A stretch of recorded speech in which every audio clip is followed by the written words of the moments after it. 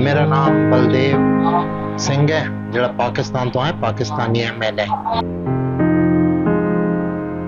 ਤੇ ਵਧੀਆ ਹੋ ਗਿਆ ਕਿ ਨਾਗਰਿਕਤਾ ਬਿੱਲ ਪਾਸ ਕਰਕੇ ਅਮਿਤ ਸ਼ਾਹ ਸਾਹਿਬ ਨੇ ਤੇ ਮੋਦੀ ਜੀ ਨੇ ਤੇ ਸਾਡੀ ਕੈਬਨਿਟ ਕਿਆਦਤ ਨੇ ਪਾਸ ਕਰ ਦਿੱਤਾ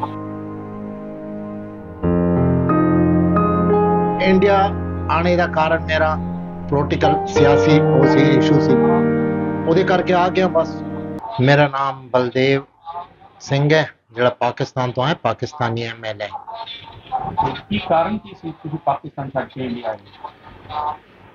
ਸਭ ਤੋਂ ਪਹਿਲੇ ਤਾਂ ਮੈਂ ਆਪਣੇ ਮੀਡੀਆ ਵਾਲੇ ਵੀਰਾਂ ਦਾ ਸ਼ੁਕਰਗੁਜ਼ਾਰ ਹਾਂ ਥੈਂਕ ਯੂ ਕਿ ਤੁਸੀਂ ਹੋ। ਤੇ ਕਾਫੀ ਟਾਈਮ ਬਾਅਦ ਹੋ ਮਗਰ ਠੀਕ ਹੋ ਦਰੁਸਤ ਹੋ।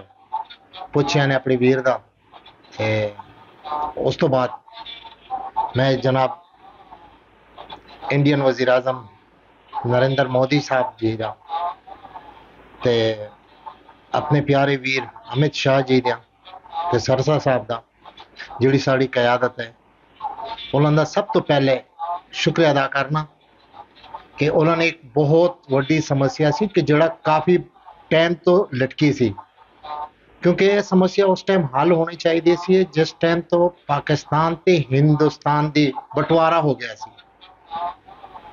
ਮਗਰ ਦੇਰ ਆਏ, ਦਰੁਸਤ ਆਏ, ਚਲੋ ਇਹਦੇ ਵਿੱਚ ਵੀ ਪਰਮਾਤਮਾ ਦਾ ਕੋਈ ਰਾਜ਼ ਹੋਏਗਾ। ਤੇ ਵਧੀਆ ਹੋ ਗਿਆ ਕਿ ਨਾਗਰਿਕਤਾ ਬਿੱਲ ਪਾਸ ਕਰਕੇ ਅਮਿਤ ਸ਼ਾਹ ਸਾਹਿਬ ਨੇ ਤੇ ਮੋਦੀ ਜੀ ਨੇ ਤੇ ਸਾਡੀ ਕੈਬਨਿਟ ਕਿਆਦਤ ਨੇ ਪਾਸ ਕਰ ਦਿੱਤਾ। ਸਭ ਤੋਂ ਪਹਿਲੇ ਤਾਂ ਇਹ ਗੱਲ ਉਹਦੇ ਕੋਲ ਬਾਅਦ ਇੰਡੀਆ ਆਣੇ ਦਾ ਕਾਰਨ ਮੇਰਾ ਪੋਲੀਟੀਕਲ ਸਿਆਸੀ ਉਹ ਸੀ ਇਸ਼ੂ ਸੀ। ਉਹਦੇ ਕਰਕੇ ਆ ਗਿਆ ਬਸ, ਨਹੀਂ ਲੱਗਦਾ ਸੀ ਹੋਰ ਜੀ ਉੱਥੇ। ਬਸ ਇੱਥੇ ਆ ਗਿਆ। ਤੁਸੀਂ ਉੱਥੇ ਐਮਐਲਏ ਸੀ ਤੁਹਾਡੇ ਕੋਲ ਪੋਲੀਟੀਕਲ ਪਾਵਰ ਸੀ ਉਸ ਤੋਂ ਬਾਅਦ ਵੀ ਤੁਸੀਂ ਉਹ ਪਾਵਰ ਛੱਡ ਕੇ ਉਰੇ ਆਏ। ਬਸ ਉੱਥੇ ਪੋਲੀਟੀਕਲ ਪਾਵਰ ਤਾਂ ਬਿਲਕੁਲ ਹਕੀਕਤ ਹੈ ਹੈਗੇ ਸੀ। ਲੋਕ ਰਿਸਪੈਕਟ ਵੀ ਕਰਦੇ ਸੀ ਯਾਰ ਦੋਸਤ ਬਹੁਤ ਅੱਛੇ ਸਨ ਬਈ ਸਾਰੇ ਮਾੜੇ ਨਹੀਂ ਹੁੰਦੇ। ਮਗਰ ਜਿਹੜੀ ਗੇਮ ਉੱਤੇ ਚੱਲਦੀ ਆ ਨਾ ਹੁਣ ਵੇਖੋ ਇਸ ਟਾਈਮ ਕੇਪੀਕੇ ਦੇ ਵਿੱਚ ਪੀਟੀਆਈ ਦੀ ਸਰਕਾਰ ਬਣੀ ਹੈ, ਇਮਰਾਨ ਖਾਨ ਦੀ ਸਰਕਾਰ। ਤੇ ਉਹਨੂੰ ਸਰਕਾਰ ਕਰਨ ਦੇ ਨਹੀਂ ਦੇ ਰਹੇ।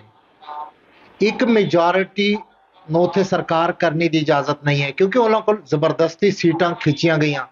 ਮਿਨੋਰਿਟੀ ਦੀ, ਚਾਰ ਮਿਨੋਰਿਟੀ ਦੀ ਸੀਟਾਂ ਤੇ ਤਰੇ ਤਰੇ ਔਮਨ ਸੀਟਾਂ। ਸੌਰੀ 14 14 14 ਔਮਨ ਸੀਟਾਂ। ਇਹ ਖਿੱਚੀਆਂ ਗਈਆਂ ਜ਼ਬਰਦਸਤੀ ਤੇ ਮੇਰੇ ਜੇ ਬੰਦੇ ਦੀ ਉਹਦੀ ਉੱਥੇ ਹیثیت ਕੀ ਰਹਿਣੀ ਸੀ ਸ਼ੁਕਰ ਹੈ ਬਾਬੇ ਦਾ ਲੱਖ ਲੱਖ ਮਿਹਰ ਇਹ ਵੇਖਦੇ ਮੇਰੇ ਗਰੀਬੀ ਦੀ ਦੁਕਾਨ ਬਿਜਲੀ ਦਾ ਕੰਮ ਕਰਨਾ ਆਪਣਾ ਦੋ ਟਾਈਮ ਸ਼ੁਕਰ ਹੈ ਬਾਬੇ ਦਾ ਖਰੇ ਸੋਹਣੇ ਖੁਸ਼ੀ ਦੇ ਨਾਲ ਘਟਨੇ ਪਏ ਹੁਣ ਯਾਦਾਂ ਤਾਂ ਕੋਈ ਭੁਲਾ ਨਹੀਂ ਸਕਦਾ ਪਰਿਵਾਰ ਬੈਠਾ ਹੈ ਪਰਿਵਾਰ ਦੀ ਯਾਦਾਂ ਆਉਂਦੀਆਂ ਨੇ ਯਾਰ ਦੋਸਤਾਂ ਦੀ ਬਚਪਨਾਂ ਦੀ ਯਾਦਾਂ ਆਉਂਦੀਆਂ ਨੇ ਮਗਰ ਸ਼ੁਕਰ ਹੈ ਇਧਰ ਖੁਸ਼ ਹੈ ਹਾਂ ਥੋੜੇ ਬਹੁਤ ਗਿਲੇ ਤਾਂ ਹੈਗੇ ਨੇ ਸਰਕਾਰਾਂ ਤੋਂ ਮਗਰ ਚਲੋ ਉਹ ਤਾਂ ਹੁੰਦਾ ਰਹਿੰਦਾ ਹੈ ਸਾਡਾ ਦੇਸ਼ ਹੈ ਉਹਦੇ ਵਿੱਚ ਕਰਨਾ ਪੈਂਦਾ ਹੈ ਤੇ ਹੁਣ ਤੁਹਾਡੇ ਨਾਲ ਤੁਹਾਨੂੰ ਕੀ ਲੱਗਦਾ ਕਿੰਨੇ ਕੁ ਹੋਰ ਜਿਹੜੇ ਪਾਕਿਸਤਾਨ ਤੋਂ ਆਏ ਆ, ਉਹਨਾਂ ਨੂੰ ਨਾਗਰਿਕਤਾ ਮਿਲਣ ਦਾ ਰਸਤਾ ਸਾਫ਼ ਹੈ ਮੈਂ ਕਹਿੰਨਾ ਜਿਹੜੇ ਪਾਕਿਸਤਾਨ ਤੋਂ ਆਏ ਇੱਥੇ ਹਿੰਦੁਸਤਾਨ ਦੇ ਵਿੱਚ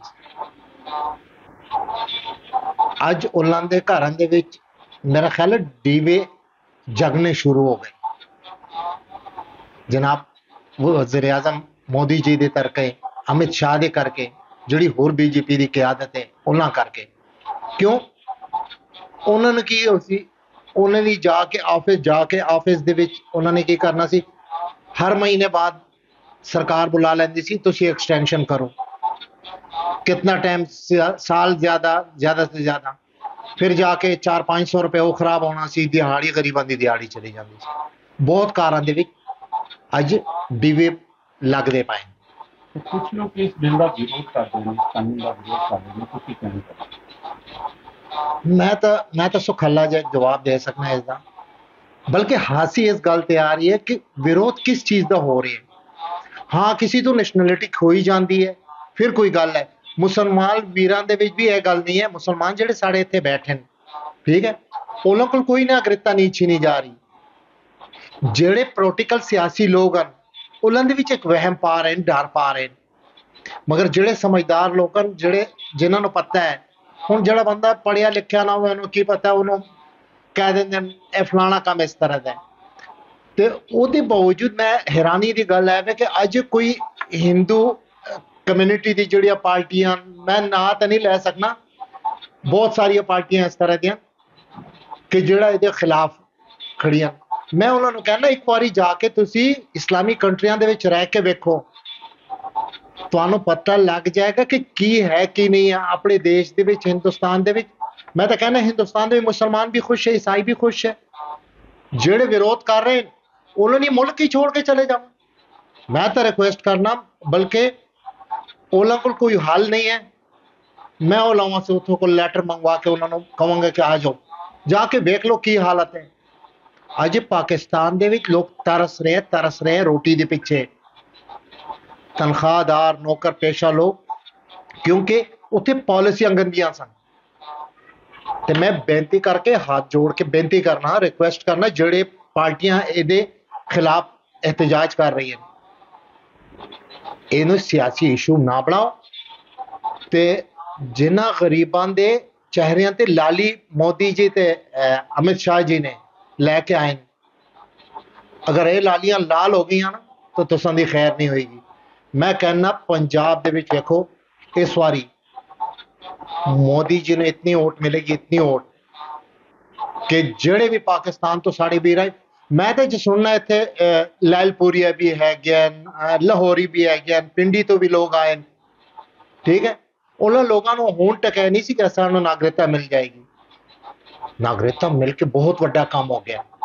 ਤੇ ਜਿਹੜੇ ਵਿਰੋਧ ਕਰ ਰਹੇ ਮੈਂ ਉਹਨਾਂ ਨੂੰ ਰਿਕੁਐਸਟ ਕਰਨਾ ਇੱਕ ਵਾਰੀ ਜਾ ਕੇ ਵੇਖੋ ਬਾਹਰ।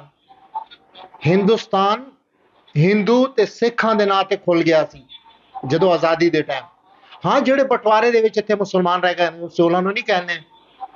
ਸਾਡੇ ਵੀਰ ਹਨ ਇੱਥੇ ਰਹਿ ਕੇ ਮੇਰੇ ਅਕਸਰ ਮੁਸਲਮਾਨਾਂ ਨਾਲ ਗੱਲ ਹੋ ਜਾਂਦੀ ਹੈ। ਕਹਿੰਦੇ, ਨਹੀਂ, ਅਸੀਂ ਖੁਸ਼ ਹਾਂ ਹਿੰਦੁਸਤਾਨ ਤੋਂ। ਮਗਰ ਜਿਹੜੇ ਲੋਕ ਅੱਗ ਲਾਉਂਦੇ ਉਹ ਆਪਣੀ ਬੱਤੀ ਬੁਝਾ ਦਿਓ। ਕਹਿੰਦਾ, ਸਾਡੇ ਕੋਲ ਹੱਲ ਹੈਗਾ ਇਹਦਾ।